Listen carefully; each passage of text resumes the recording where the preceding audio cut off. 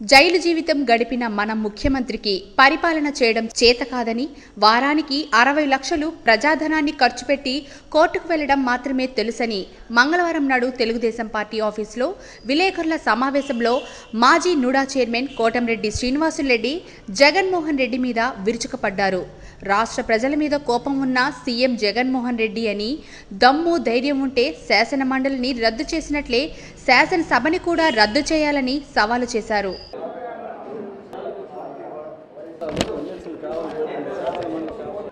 అందరూ నమస్కారం. జగన్మోహన్ రెడ్డి గారు ఒక్క అవకాశం ఇవ్వండి ఒక్క అవకాశం ఇవ్వండి నాకు అని అంటుంటే అందరు ప్రజలంతా కూడా ఇన్ని వేల మైళ్ళు నడుస్తున్నాడు పదహారు నెలలు జైల్లో ఉన్నాడు. కుర్రాడు చంద్రబాబుకి ఎన్నో అవకాశాలు ఇచ్చాం. మరొక అవకాశం ఈయనకి ఇస్తాము అని ఇచ్చారు. ఒక్క అవకాశం ఇచ్చిన దానికి ప్రజల్ని వంద సంవత్సరాలు కోలుకోలేని స్థితి తెస్తున్నాడు ఈ రాష్ట్రాన్ని. వంద సంవత్సరాలు కోలుకోలేని స్థితిని రాష్ట్రాన్ని తెస్తున్నాడు జగన్మోహన్ రెడ్డి గారు. ఒక కసితో ఒక క్రోధంతో ఒప్పనాసి బుద్ధితో తను అనుకుందే కరెక్ట్. నేను నేనే కరెక్ట్ అంటూ తొగ్లక్ సామ్రాజ్యానికి మహాధిపతిగా వ్యవహరించి ఈరోజు శాసనమండలి రద్దు చేశాడు. నేను ఒకటే జగన్మోహన్ రెడ్డి అడుగుతున్నా. శాసన మండలి కింద ఖర్చు అరవై కోట్లు. అబ్బో చాలా సంపన్నుడు పాపం. చాలా సంపన్నుడు జగన్మోహన్ రెడ్డి గారు. తండ్రి నటనం పెట్టుకొని లక్షల కోట్లు దోచుకొని ఇంకా ఆరు నెలల్లో జైలుకు పోబోయే జగన్మోహన్ రెడ్డికి ఈరోజు చాలా నీతులు గుర్తొచ్చినాయి. అరవై కోట్లు ఖర్చేందుకు. మరి శుక్రవారం శుక్రవారం కోర్టుకు పోయడానికి నీకు ముప్పై నీకు ముప్పై కోట్లు ఖర్చు అవుతుంది ప్రభుత్వానికి? నీకు ముప్పై కోట్లు ఖర్చు అవుతుంది దానికేం సమాధానం చెప్తావు జగన్మోహన్ రెడ్డి? అరవై కోట్ల కౌన్సిల్కి అవసరమా? పద్నాలుగు వందల కోట్లు పెట్టి ప్రజాధనాన్ని సచిల సచివాలయాలకి రంగులేశారు. హైకోర్టు ధర్మాసనం రాష్ట్ర ప్రభుత్వాన్ని ఎలక్షన్ కమిషన్ తప్పుపట్టింది. ముందు మీ మీద యాక్షన్ తీసుకుంటాం ఇమీడియట్గా తుడిపోయండి అని. పద్నాలుగు వందల కోట్లు ఎవడబ్బో సొత్తు? పద్నాలుగు వందల కోట్లు ఎవడబ్బో సొత్తు జగన్మోహన్ రెడ్డి గారు చెప్పండి? అరవై కోట్లు ప్రజాధనం అంటున్నావే?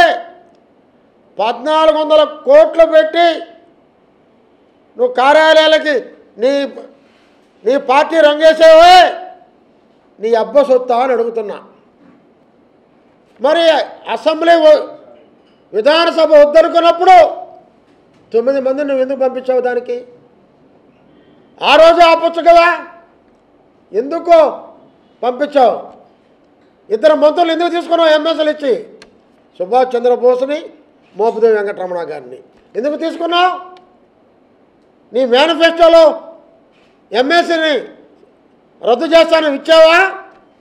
ఏనాడైనా మాట్లాడావా? రాజన్న రాజ్యం తెస్తా. రైట్. దోపిడీ రాజ్యం తెచ్చావు. రౌడీ రాజ్యం తెచ్చావు. గోండాల రాజ్యం తెచ్చావు. అవన్నీ రాజన్న గారి వారసత్వమే. అయితే శాసన మండలి రాజన్న తెచ్చిందే నాయన. శాసన మండలి రాజన్న తెచ్చిందే. ఆనాడు చంద్రబాబు నాయుడు గారు వద్దనేది వాస్తవమే. ఎందుకంటే అది మా పార్టీ సిద్ధాంతం అన్నాడు ఎన్టీ రామారావు గారు రద్దు చేశారు. అదే పద్ధతిలో చంద్రబాబు నాయుడు గారు ఎందుకు అనవసరం అడిగారు. రాజశేఖర రెడ్డి గారు పెట్టిన తర్వాత దాంట్లో బీసీలు వెనుకబడిన తరగతులు మేధావులు వస్తున్నారని గ్రాడ్యుయేట్ నుంచి టీచర్ల నుంచి వస్తున్నారని ఆయన కూడా ఒప్పుకున్నాడు అన్నాడు మరి ఈనాడు నీ తండ్రి పెట్టిన నా శాసన మండలి రద్దు చేసేవే? మడమ తిప్పను ఇంకోటి ఉంది? మాట తప్పను. మొత్తం మేమే మర్చిపోతాం ఈ పదాలు. ఎట్టపోయి పదాలు? మీ నాన్న పెట్టినటువంటి దాన్ని రద్దు చేసావు మడం తిప్పావు మాట చెప్పావు ఏమస అంత కసి? ఏమంత క్రోధం? ఏమంత దుర్బుద్ధి? దుర్మార్గపు పాలన సాగిస్తున్నావు రాష్ట్రంలో. ఏం చేశారు మహమ్మద్ షరీఫ్ గారు? ఒక నిజాయితీ నిలబడ్డాడు. మీరు వంద కోట్ల ఆశ చూపినా లొంగల. ఈ రా- ఈ రాష్ట్రం దివాలా తీయకూడదు. ఈ రాష్ట్రాన్ని అభివృద్ధి చేయాలి. అమరావతి రైతాంగాన్ని కాపాడాలి అని ఒక నిజాయితీగా నిలబడినటువంటి మహోన్నతుడు షరీఫ్ గారు. ఆయన ఏం రాశాడు? సెలెక్ట్ కమిటీకి రాశాడు. ప్రజాభిప్రాయం తెలుసుకోమన్నాడు. దాంట్లో తప్పేంటని అడుగుతున్నా. ఏమి ఒక మూడు నెలలు ఆగలేవా? నువ్వు విశాఖపట్నంలో కొన్న యాభై వేల ఎకరాలు. ఇంక మూడు నెలలు ఆగవా ఇంకోటి పెరుక్కోపోతారా ఏంటి? ఇంతలేకి అర్జెంటుగా తెలుగుదేశం వాళ్ళకి పది కోట్లు ఇరవై కోట్లు వాళ్ళు బేరాలు పెట్టి మూడు రోజులు శాసనమండలి సమావేశాలు కాకుండా ఆ- ఆపి నీ ట్రై చేసి విజయసాయి ద్వారా ట్రై చేసి వీలు కాని పరిస్థితుల్లో రద్దు చేసావంటే ఎంతటికైనా నువ్వు తెగించేటటువంటి వ్యక్తివి మీరు.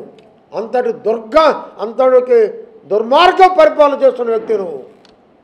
నిన్నంతేదో పిల్లోడు అనుకున్నారు అమ్మో. ఇంత కసి ఇంత క్రోధం ఉండేటువంటి వ్యక్తి డెబ్బై రెండు సంవత్సరాల స్వాతంత్రం వచ్చిన తర్వాత భారతదేశంలో ఏ ముఖ్యమంత్రి ఇలా లేరండి? ఒక పెద్ద మనిషిగా పద్ధతిగా ఆలోచించే ముఖ్యమంత్రులను చూసాం ఒక బస్సులకి వ్యతిరేకంగా కోర్టు తీర్పిస్తే రాజీనామా చేసే ముఖ్యమంత్రులను చూసాం ఒక మడ్డలు జరిగేటప్పుడు అదుపు కాలేదనుకుంటే ఎడం చేత్తో రాజీనామా చేసే ముఖ్యమంత్రులను చూసాం మరి తన మాట వినలేదని చిన్న కాజుతో ఒక శాసనమండలిలో మీ నాన్నగారు పెట్టింది రద్దు చేశామంటే నీకన్నా దుర్మార్గపు ముఖ్యమంత్రి ఈ భారతదేశంలో లేరు. ఇంకా రాబోరని కూడా తెలియజేస్తున్నా ఒకటే జగన్మోహన్ రెడ్డి గారు ఈరోజు ఎమ్మెల్సీలు మేధావులు కావాలని పది రాష్ట్రాలు ఈరోజు కేంద్రానికి అప్లికేషన్లు పెట్టుకొని ఉన్నాయి. పది రాష్ట్రాలు. మాకు ఇవ్వండి మాకు ఇవ్వండి అని. మరి జగన్మోహన్ రెడ్డి గారు ఒక ఎడం చేత్తో ఆయన రద్దు చేసేసి ఒక ఒక రామసేప స్పీకరు నూట ఇరవై ఒక్క ఓటు అన్నాడు. మళ్ళీ ఇంకా రమసేప తల్లి నూట ముప్పై మూడు ఓట్లు అన్నాడు. అంతా వాళ్ళ ఇష్టమే. ఎన్ని చెప్పుకున్నారో వాళ్ళకి అర్థం కాని పరిస్థితి అయిపోయింది. అటువంటి పది రాష్ట్రాలు కోరుతున్నాయి. జగన్మోహన్ రెడ్డి గారు ఇల్లు అలగ్గానే పెళ్ళి అనుకోబోకండి. మీ ఒక్క చేతిలో లేదది. మీరు రాస్తున్నారంతే. అది పార్లమెంటు స్థాయిలో ఉంది. అది జరగాలంటే రెండు సంవత్సరాలు అవుతాం మూడు సంవత్సరాలు అవుతాం. నీ చేతిలో ఉందని మాత్రం అనుకోబాకు. అని తెలుసుకో అది కేవలం నీ భ్రమ. అది నీ భ్రమ మాత్రమే.